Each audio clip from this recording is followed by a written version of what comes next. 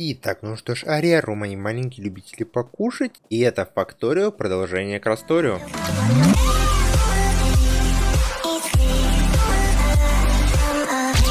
Мы останавливаемся, получается, с вами ровно на том моменте, где и остановились с вами в прошлой серии. И сейчас я подозреваю то, что нам нужно будет целиком и полностью отдаться производству меди. Хотя бы в полуавтоматическом или чуть более серьезном режиме. Потому что сейчас она производится вообще никак. Не буду я ничего нового изобретать и просто скопирую вот этот вот цех целиком и полностью. И просто мы его здесь вот где-нибудь разместим. В случае, если нам в будущем придется это все масштабировать, а масштабировать все равно придется, я думаю, проблем у нас с этим не возникнет абсолютно никаких. Ведь в любом случае это все у нас переедет, и это все очень-очень сильно временно. И теперь нужно подумать о способе, как я буду доставлять сюда уголь.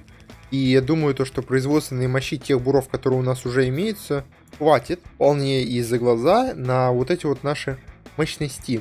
И даже я не буду пока что здесь вот новеньких буров подставлять. По-хорошему нужно начинать отсюда вот эту медь, которая здесь производится, увозить куда-нибудь. А куда-нибудь это вот здесь вот получается наши конвейерные линии.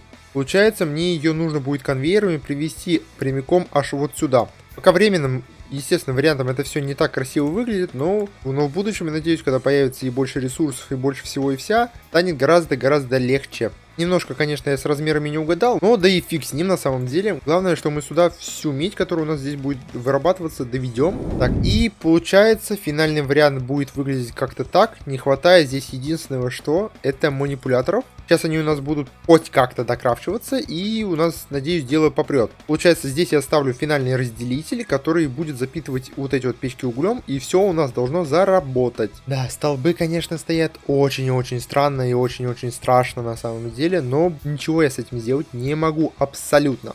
Ресурсов у нас нет, как бы мне сильно этого не хотелось. Так что? Питания мало? Почему? Стоп, что? У нас паровых двигателей не хватает. Это, я думаю, пар это будет в приоритете, и нам нужно будет в приоритете его сюда вот подводить и уголь, и все. Давно я хотел отсюда это все переехать. Давайте сейчас этим займемся. У нас сейчас все, конечно, производство встанет. Деваться особо некуда, на самом деле. Думаю, то, что они пойдут у нас как-то, ну, вот так вот, я думаю, да. Хватит пространства. Вот это все непотребство, конечно же, отсюда переедет. Думаю, еще два бойлера и еще четыре, получается, двигателя. Нам нужно на все про все.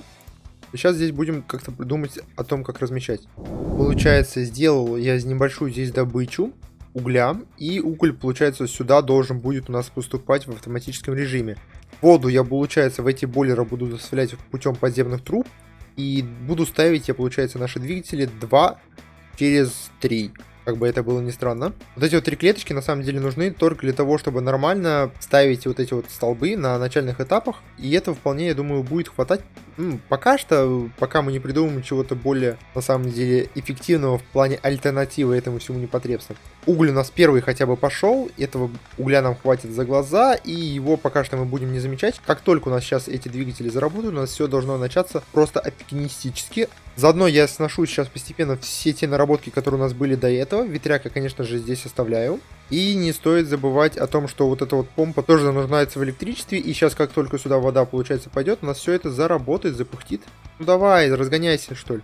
Вот так вот будет, получается, уголь угольный буфер действовать и работать. Сейчас как раз мы сюда излишки загрузим, и уголь весь у нас пойдет в эти бойлеры, и они начнут нам производить необходимую нам электроэнергию. Пока рано или поздно этот уголь у нас весь не закончится, конечно. Правые машины у нас запыхтели, зафурчали. Все у нас работает теперь. Посмотрите, как они пыхтят.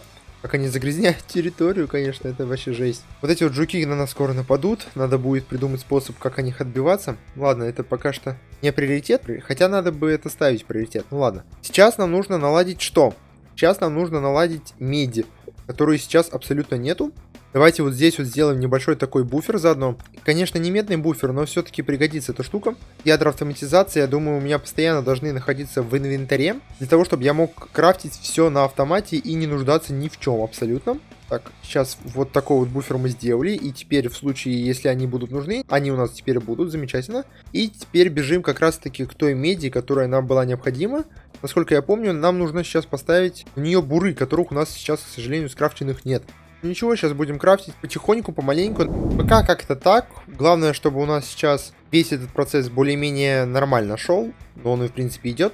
Ну, будет хватать замечательно. Не будет, нарастим еще, не страшно. Главное, что сейчас у нас медь пошла более в лучшем режиме. Буры теперь полностью у нас размещены. А мы сейчас займемся необходимыми ресурсами, которые нужны нам будут для того, чтобы в будущем увеличивать нашу базу. Так, продлеваю я сейчас наш весь мол до хотя бы до этого режима. Вот замечательно, до сюда у нас доходит. Вот это вот, скорее всего, вторая линия, либо вот здесь вот где-то пойдет у нас сталь. Кстати, мы скоро к ней могли бы прийти. Ну ладно. Первым делом, я думаю, мы смогли бы сделать производство конвейеров. Нам нужно на них только железо и ядра автоматизации. Все это, я думаю, мы без проблем смогли бы вывести, будь у нас нормальные манипуляторы. Нам очень сильно сейчас не хватает фильтрующих, на самом деле. Фильтрующие у нас делаются, получается, вот здесь вот и нужно 30 колбочек красных и базовых. У меня есть 40 вот этих вот базовых колбочек. Давайте сейчас пока что в полевом режиме обустроим себе вот это вот производство. Хотя бы так. И поставим себе вот эти вот пакетники как приоритет. Туда мы запихиваем, конечно, базовые схемы. И нам нужны красные. Все, шли производиться у нас вот эти вот ингредиенты. Пока в полуавтоматическом режиме, конечно. Ну ладно. Сейчас давайте пока без фильтрующих попробуем сделать все то, что необходимо. Просто набросать и посмотреть, насколько сильно у нас и эффективно получится это все дело. По идее, как-то так. Должна будет выглядеть вся наша схема. По моим планам, вот здесь вот должно пойти у нас железо. Наша любименькая. Даже по двум линиям можно будет как-нибудь это все пустить. Пока не знаю, как именно это придумать. Здесь у нас, получается, должны будут пойти вот эти вот самые э, наши ядра малой плотности для вот этих вот сборочных автоматов. И последнее, что я забыл сделать, это погрузчики. Я думаю, то, что вот эта вот часть, она будет здесь у нас до очень долгого времени, поскольку я думаю, то, что до красных конвейеров мы дойдем с вами явно не в этой серии, а вот это все перестраивается, естественно, будет, когда у нас появятся только красные конвейеры. Поэтому мы сделаем здесь пока что хотя бы вот такой вот толступ, и дальше будем что-нибудь с этим придумывать. И хотя бы сейчас я поставить хочу небольшую фабрику по производству фабрик, а потом обязательно мы поставим с вами таким же методом манипулятор для производства других манипуляторов. Вот у нас, кстати, эти фильтрующие манипуляторы, на которые нужны, то правильно, стальные плиты. Хотя бы одну штучку нам нужно скрафтить, это кокс. У -у -у! Да кокса нам еще, ребята, далеко. Фильтрующие манипуляторы я захотел. И еще какой негодник. Так, главное, что у нас сейчас вот этот вот манипулятор заработал. Давайте хотя бы парочку, не знаю, каким-нибудь образом кокса и вот этих вот стальных плит скрафтим. Нам по-хорошему нужно на это все непосредственно дерево и уголь. Дерево мы можем добывать только в теплицах. Как все очень ну, сложно будет. Но фильтрующие манипуляторы нам нужны кровь бизнесу, так что в любом случае мы должны сейчас начать производить. Эта печь нам производит кокс, а эта печь нам производит сталь. И хотя бы пару штучек стали чисто на то, чтобы у нас фильтрующий манипулятор начал работать, дай, пожалуйста, мне, и дальше уже можешь делать все, что угодно, все, что тебе заблагорассудится. И начал я наблюдать нехватку по железу почему-то, а? На самом деле мощности печи гораздо, гораздо может быть больше, но не хватает нам ни на что. Тем временем сталь у нас произвелась, и два фильтрующих наших манипулятора мы успешно с вами крафтим. А это значит, ребята, то, что начинается новая эра стали. Ну, она могла бы на самом деле начаться, если бы начали мы ее в больших масштабах производить. Ну да ладно. Получается сюда раз и сюда два. Сюда электричество 3. Фильтрующий манипулятор 3000 все у нас пошло производиться. Чтобы это немножко работало, как я хочу, мне пришлось изрядно так исхитриться. Ну ладно, это хотя бы работает, и теперь у нас манипуляторы пойдут в полу таком автоматическом режиме. У нас уже идут сборочные автоматы в таком же режиме, и мне это несомненно радует. Конечно, это все у нас производство технологий встало, как же может быть иначе. Вот это вот все дело можно перевести какой-то более належащий вид, чтобы хотя бы вот эти вот технологии у нас использовались, исследовались. Нам ничего сложного здесь не надо. У нас уже все то, что нужно есть на моле. Давайте с мола часть ресурсов мы возьмем. Я думаю, он сильно не обидится от нас от этого. Так, красный хотя бы одну штуку я начал производить. Уже замечательно. И тыдыщ, все, получается у нас загружаются сюда красные и должны загружаться сюда не красные колбочки. Если у нас, конечно, будут деревянные ресурсы. Дерево пошло, красные пошли, и сейчас все это должно сюда загружаться и успешно распределяться по остальным нашим лабораториям. Производство у нас теперь началось, замечательно, хотя бы мы не так сильно страдать по нему будем. Так, все у нас получается, даже небольшое по запасу я взял для производства вот этих вот и манипуляторов, они не нужны будут в таком вот масштабе, в каком сейчас производится, конечно. Ну, ладно, хватит. Сейчас мы все придумаем, ребят, не переживаем, и все это у нас будет очень хорошо работать. Кстати, даже можно, знаете, что делать? Я что-то очень туплю на самом деле с вами. Можно же пользоваться погрузчиками. Мы же играем в Красторию, а не в обычную факторию. А значит, то, что можно все отсюда выгружать погрузчиками, правильно же? Правильно. Зачем нам тратить казенную электроэнергию на такие банальные вещи, которые мы здесь с вами можем делать? Вот так вот отсюда забирать не получится, потому что они действуют немножко не по этой логике. И, по-моему... Хотя, давайте попробуем. Думаю, получится загружать сюда? Получится.